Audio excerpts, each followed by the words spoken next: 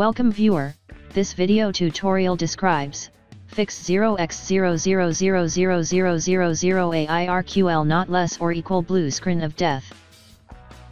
First method is right-click Start button, click Device Manager. Click and expand Display Adapters, right-click Display Adapter, click Update Driver, click Search automatically for drivers. Click and expand Monitors, right-click Monitor, click Update Driver, click Search automatically for drivers. Second method is type Memory Diagnostic in Windows search bar, click Memory Diagnostic.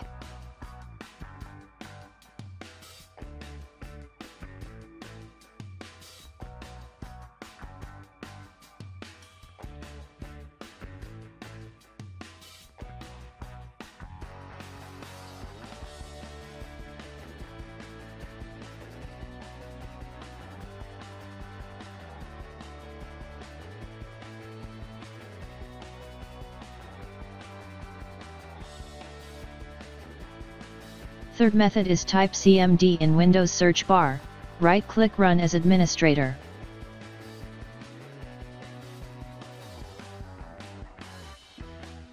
Type SFC space, slash scannow.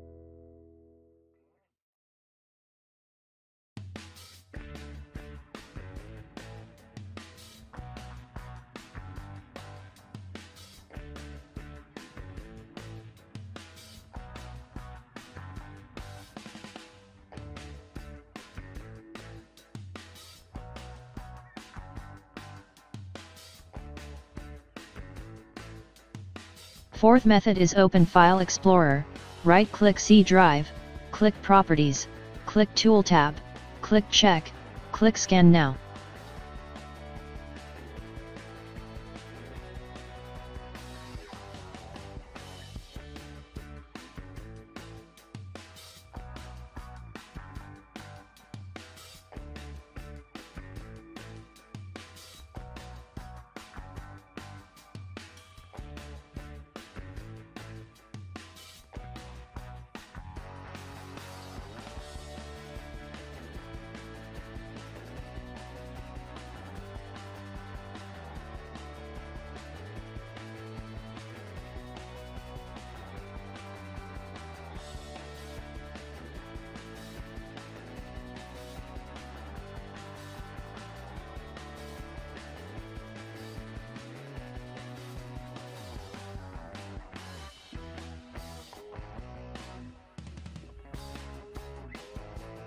Fifth method is click Start, Settings, click Windows Update, click Update Now.